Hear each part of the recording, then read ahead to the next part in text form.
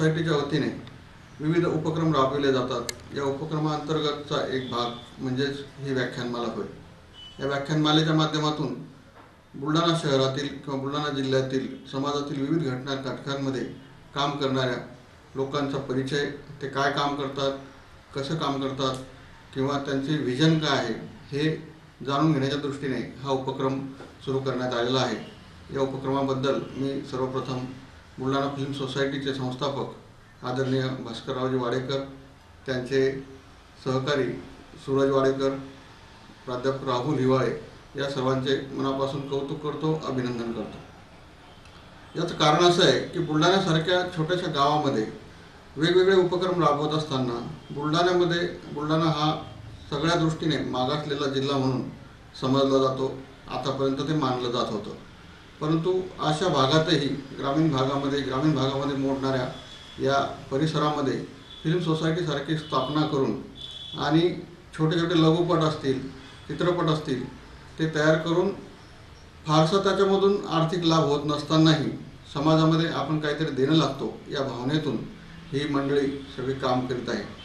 हे काम करत असताना कलागौरव नावाचा पुरस्कारसुद्धा या संस्थेच्या वतीने दिला जातो आणि त्याच्यामध्ये सुद्धा समाजातल्या वेगवेगळ्या घटकांमध्ये काम करणारे वेगवेगळ्या क्षेत्रामध्ये उल्लेखनीय काम करणाऱ्या लोकांना या ठिकाणी सन्मानित केलं जातं. निश्चितच हा अभिनंदनीय उपक्रम आहे. या उपक्रमाचा दुसरा भाग म्हणजे आजच्या ग्लोबलायझेशनच्या युगामध्ये आपण पाहतो की सर्वच सर्वच क्षेत्रात खूप मोठा बदल झालेला आहे. माध्यमांमध्ये क्रांती झालेली आहे.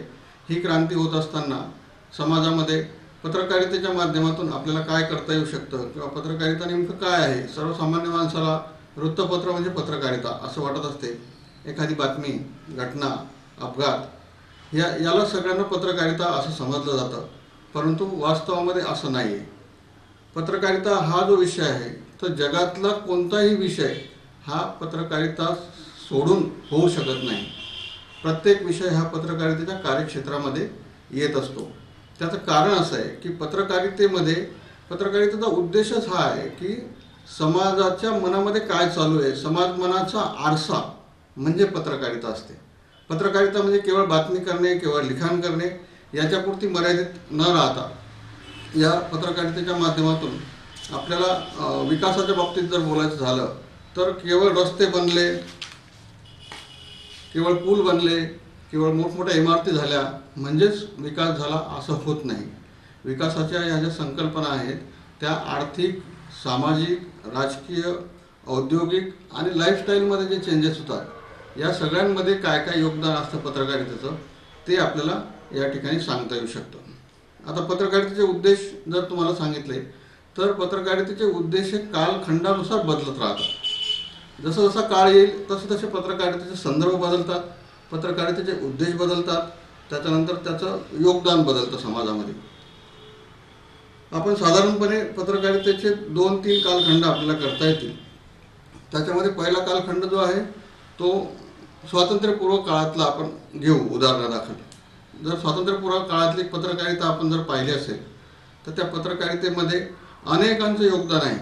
महात्मा गांधींपासून लोकमान्य टिळक डॉक्टर बाबासाहेब आंबेडकर गोपाळ गणेश आगरकर नंतर मौलाना आझाद डॉक्टर राजेंद्र प्रसाद रवींद्रनाथ टागोर यासारख्या मोठमोठ्या लोकांनी पत्रकारितेपासून आपली सुरुवात केली आहे. त्यांनी पत्रकारिता काही छंद म्हणून किंवा पत्रकारितेतून काही मिळवायचं त्यांना किंवा प्रसिद्धी मिळवायची म्हणून नाही केली. त्या काळात त्यांनी जी पत्रकारिता सुरू केली त्या काळातला उद्देश असा होता की इंग्रजांनी भारतावर आक्रमण केलं. या मध्ये भारत गुलामगिरीमध्ये गेला आणि संपूर्ण देशाला एका गुलामासारखी वागणूक हे देऊ लागले. ज्या ज्या मोजक्या लोकांनी काय शिक्षण घेतलं त्यांना ह्या सगळ्या गोष्टी कळत होत्या.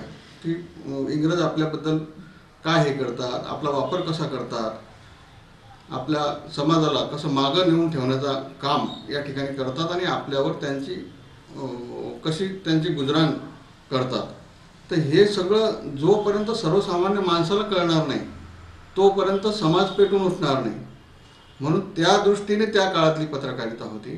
त्या काळातले जे आर्टिकल असतील त्या काळातले जे साप्ताहिक असतील दैनिक असतील त्या दैनिकांच्या माध्यमातून पत्रकारितेच्या माध्यमातून आपला इंग्रज राजवटी विरोधातला रोष जो आहे तो रोष सर्वसामान्य लोकांपर्यंत पोहोचवायचा आणि सर्वसामान्य समाजमन एका क्रांतीसाठी पेटून उठवायचं या उद्देशाने त्या काळातली पत्रकारिता सुरू होती.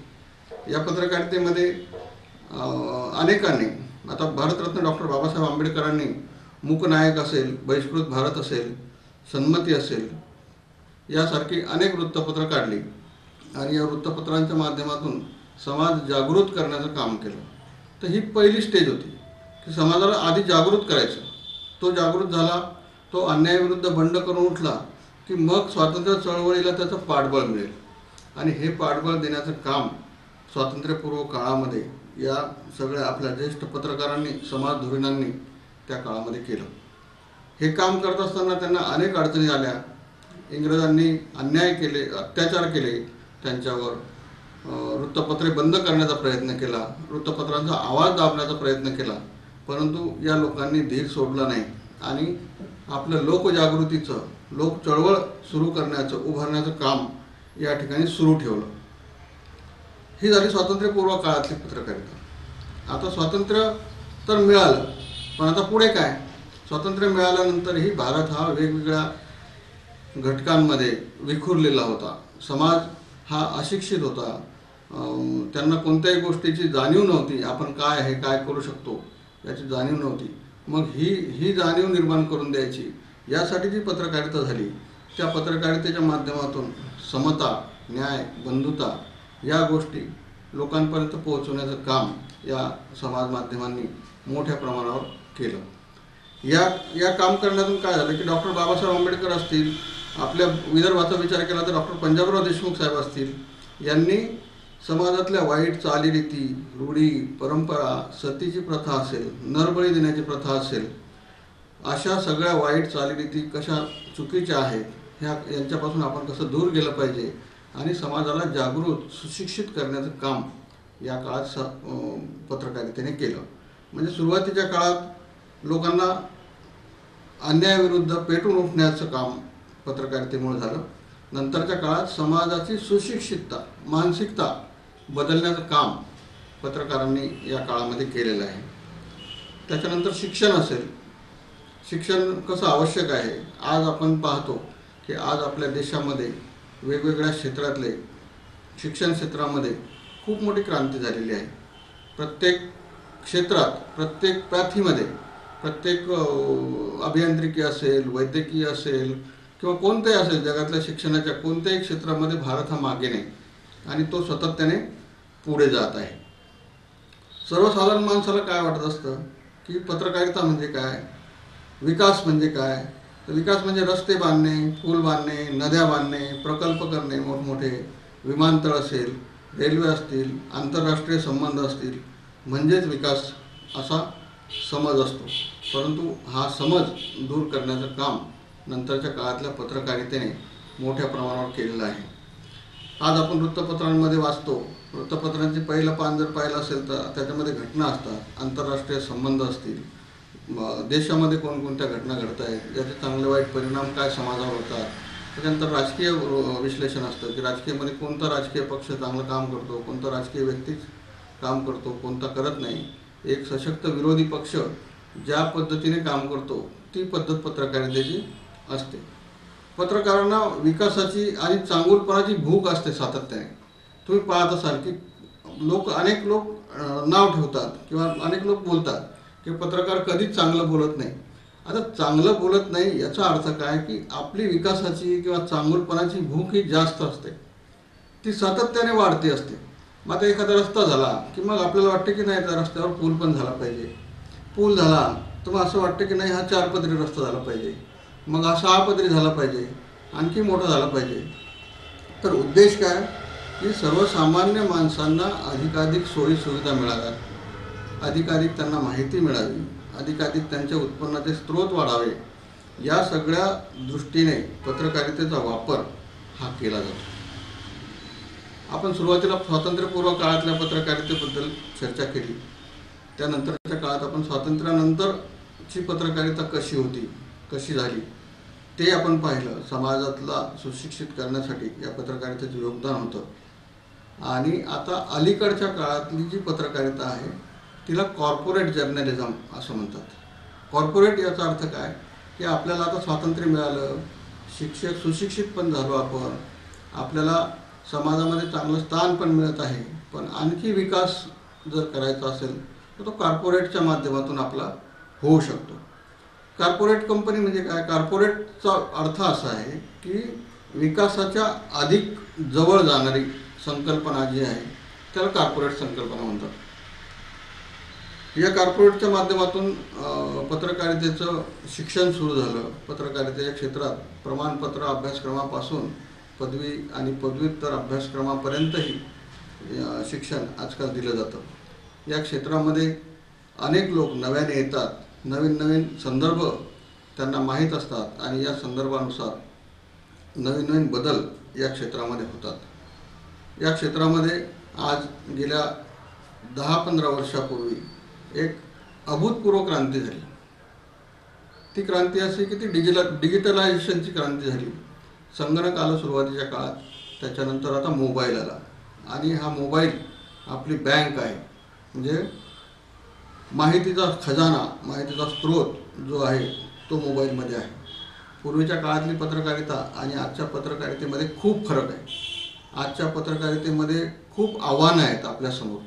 आधीची पत्रकारिता जी होती ती त्यातही खूप कष्ट होते. परंतु आज त्या तुलनेत आव्हानं अधिक आहेत. आज स्पेशलायझेशन झालं. कृषी पत्रकारिता वेगळी व्यावसायिक पत्रकारिता वेगळी तुमचं इंडस्ट्रीला इंडस्ट्रियलायझेशन असेल ते असेल वेगळं. नंतर राजकीय पत्रकारिता वेगळी. तर ह्या सगळे हे सगळे स्पेशलायझेशन झाले. हे सगळं होत असताना आपण एक विचार करतो की ग्लोबलायझेशन ग्लोबलायझेशन म्हणजे काय?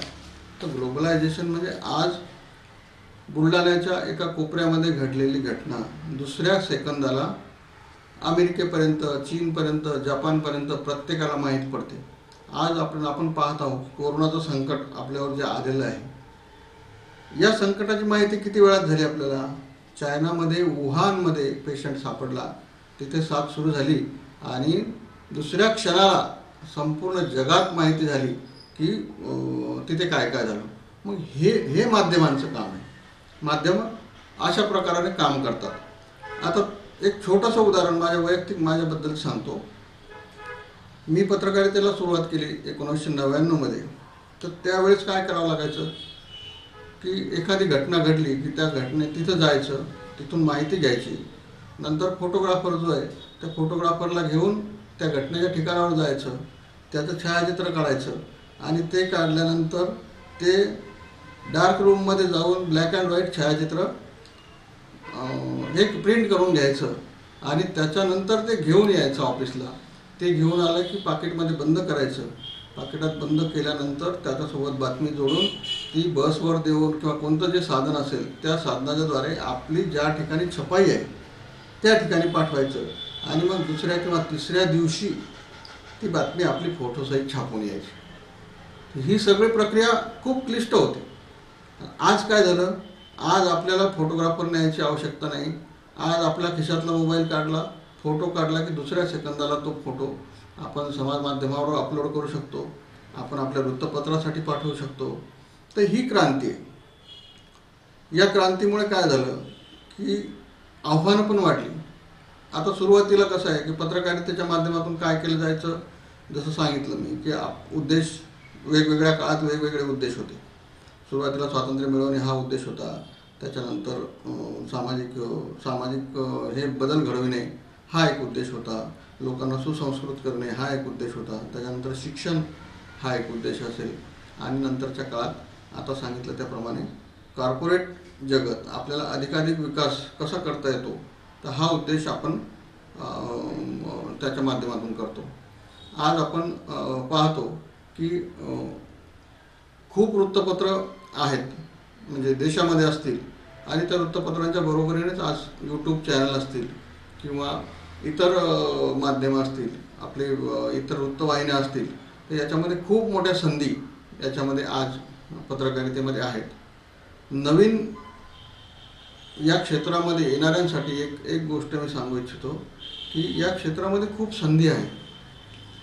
संधी आहेत आव्हाने आहेत आणि जी काम करण्याची तयारी ज्याची असेल त्याला उज्ज्वल भवितव्य देखील आहे. आज आपण पाहतो टी व्हीवर वेगवेगळे अँकर असतील वेगवेगळ्या चॅनलमध्ये. ते अँकर आपलं आपलं नाव आपली ओळख संपूर्ण जगभरापर्यंत ते पोहोचवू शकतात आपल्या कामाच्या माध्यमातून आपल्या सातत्याच्या माध्यमातून. ज्या लोकांना झटपट श्रीमंत व्हायचं आहे किंवा लगेच आपल्याला प्रसिद्धीच्या झोतात यायचं आहे त्यांच्यासाठी या क्षेत्रामध्ये फार भवितव्य नाही त्यांना. ज्यांना मन लावून काम करायचं आहे ज्यांना स्वतःचं आयडेंटिटी स्वतःची ओळख निर्माण करायची आहे ती निर्माण करायसाठी आपल्याजवळ संयम लागतो खूप मोठा. तो संयम त्याला परिश्रमाची जोड देऊन आपण जे काम करतो ते जर अधिक दर्जेदार पद्धतीने केलं तर आपण निश्चितच आपल्याला पाहिजे त्या यशापर्यंत त्या ध्येयापर्यंत आपण पोहोचू शकतो.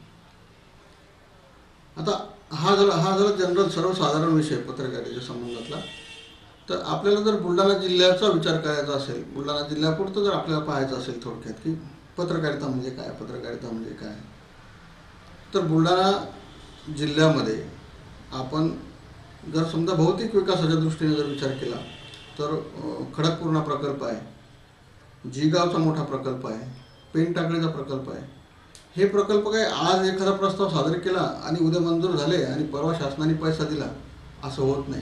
असं कधीच झालेलं नाही. खूप मोठा पाठपुरावा वृत्तपत्रांचं योगदान सातत्याने मागणी त्याचा पाठपुरावा आणि त्याच्यानंतर पॉलिटिकल नेत्यांवर आलेलं प्रेशर या याच्यातून हा या विकासाच्या प्रक्रियेला सुरुवात होते हळूहळू हळूहळू होत असते. एक एकदम तुम्ही पाहत असाल की कोणतीही मागणी एखाद्या ठिकाणी रस्ता जरी बनवायचा असेल तर तो रस्ता सहजासहजी होत नाही. जोपर्यंत ती चर्चा होत नाही ती चर्चा जोपर्यंत माध्यमांमध्ये छापून येत नाही त्याच्यावर टीका होत नाही तोपर्यंत तो लोकप्रतिनिधी जागृत होत नाही. आणि तो जागृत जोपर्यंत होत नाही तोपर्यंत प्रशासकीय यंत्रणेला कामाला लावता येत नाही. आणि जोपर्यंत प्रशासकीय यंत्रणा कामाला लागत नाही तोपर्यंत ते काम होत नाही. म्हणजे या सगळ्या प्रक्रियेमध्ये फोकसचा जो विषय आहे म्हणजे बॅटरी जे काम करते रात्री अंधारात ते काम वृत्तपत्र करत असतात.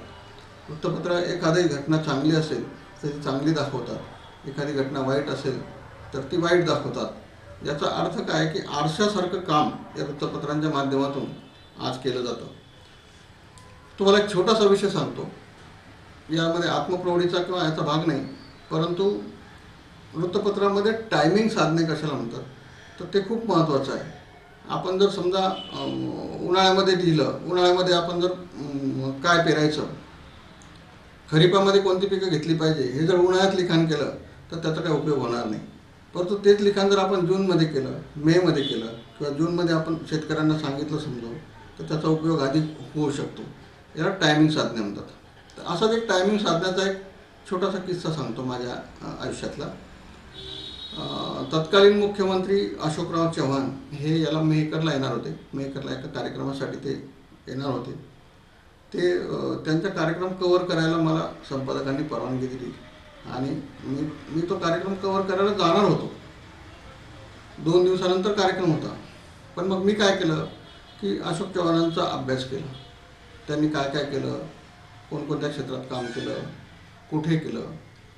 तर मग योगायोगाने मला दिसलं की गुरुता गद्दी जो सोहळा होता नांदेडचा त्या गुरुता गद्दी सोहळ्याच्या पार्श्वभूमीवर अशोक चव्हाणांनी पुढाकार घेऊन ती संधी साधत नांदेडला अडीच हजार कोटी रुपयांची कामं त्या काळात केली आणि त्या गावाचा चेहरा मोहरा बदलून टाकला. मग हे सगळं पाहिल्यानंतर हे सगळं अभ्यास केल्यानंतर माझ्या असं लक्षात आलं की बुलढाणा जिल्ह्यातच नव्हे तर संपूर्ण भारतीयांचं श्रद्धास्थान असलेलं शेगावचं संत गजानन महाराजांचं संस्थान आहे. संत गजानन महाराजांचा समाधी शताब्दी सोहळा दोन हजार दहामध्ये होता. आणि तो सोहळा होण्याच्या आधी अशोक चव्हाणांचे मेकरला सभा होती. मग हा धागा पकडून मी काय केलं त्या दिवशी? मी संपादकांशी बोललो. त्यांना सगळ्या विषयाचं गांभीर्य सांगितलं. आणि त्याच्यावर एक आर्टिकल तयार केलं. त्या आर्टिकलमध्ये असं घेतलं आपण की गुरुता गद्दीच्या धर्तीवर शेगावचा विकास करा. मग गुरुता गद्दीच्या धर्तीवर शेगावचा विकास करा याचा अर्थ काय? की अशोक चव्हाण हे प्रॉपर नांदेडचे आहेत. नांदेडला गुरुता गद्दी सोहळा होता. म्हणून त्यांनी त्या ती संधी साधत त्या शहराचा विकास करण्याचा त्यांनी प्रयत्न केला. मग आपल्या जिल्ह्यामध्ये जे हे आहे संपूर्ण भारतीयांचं श्रद्धास्थान आहे वेगवेगळ्या समाजाचं श्रद्धास्थान आहे संत गजानन महाराजांचं. तर त्यांचा समाधी शताब्दी जर सोहळा असेल तर मग शेगावचा विकास का नाही करता येणार आपल्याला? जर तुम्ही नांदेडच्या विकासासाठी पैसा देऊ शकता मग शेगावच्या विकासासाठी का नाही देणार? मग ही बातमी बॅनर लाईनला सकाळला सगळ्या आवृत्त्यांमध्ये छापून आली आणि तो पेपर घेऊन मी मुख्यमंत्र्यांच्या स्टेजवर गेलो आणि त्यांच्यासमोर ठेवला. त्याचा परिणाम असा झाला की मुख्यमंत्र्यांनी बाकीच्या प्रस्तावना वगैरे होईपर्यंत ती सगळी बातमी वाचून काढली.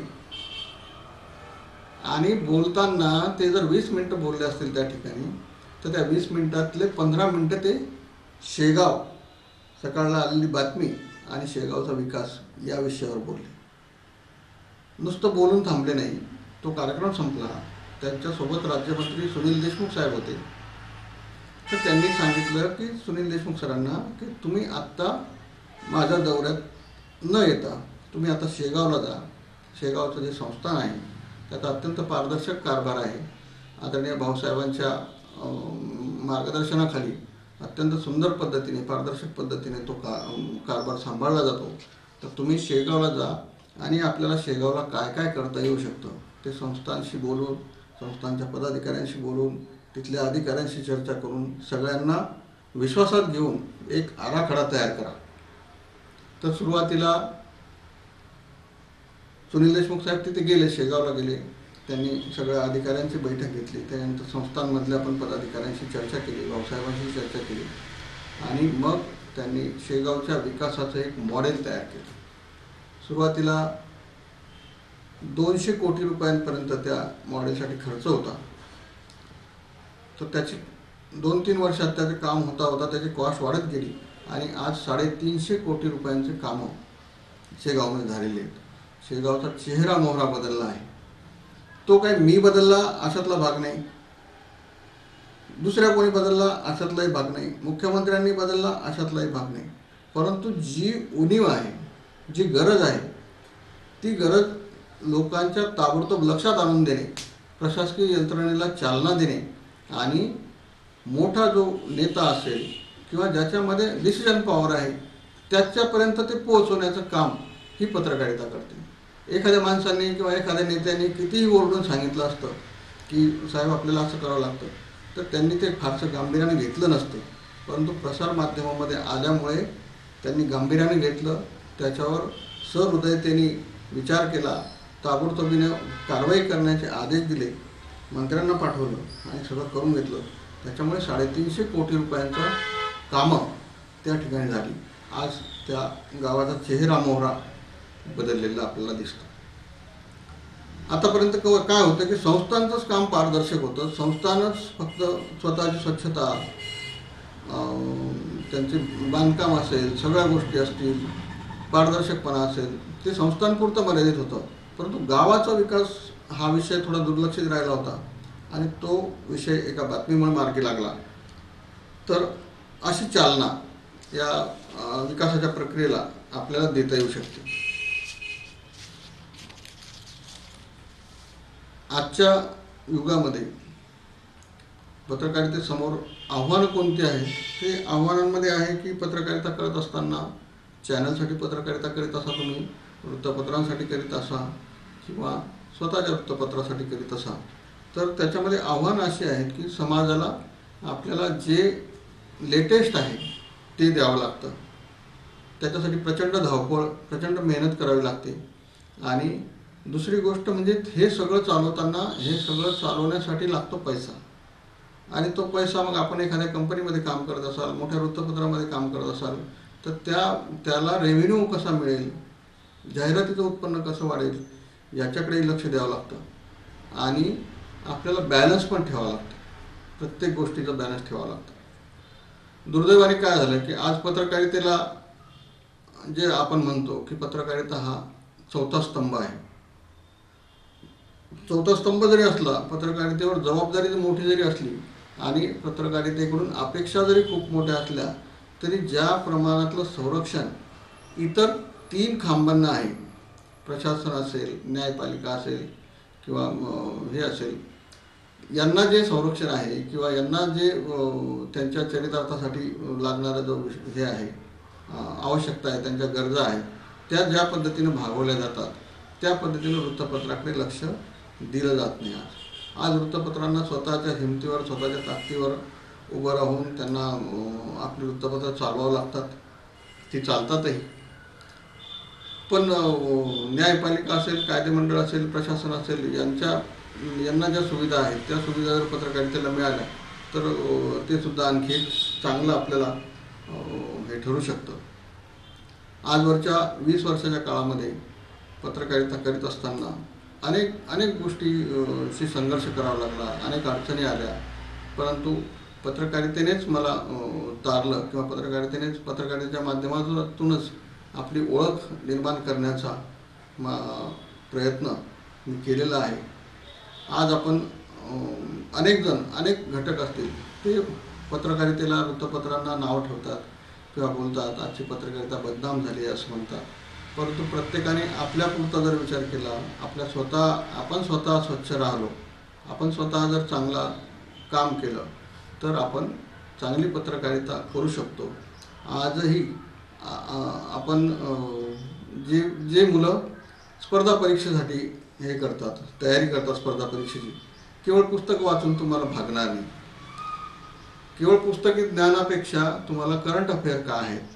सध्या काय काय घटना घडत आहेत कोणत्या घडामोडी घडत आहेत त्याचे त्याच्या क्रीडा क्षेत्र असेल सांस्कृतिक असेल राजकीय असेल सामाजिक असेल या सगळ्या क्षेत्रांची माहिती या आठ दहा वीस पानांच्या वृत्तपत्रामध्ये दिली जाते.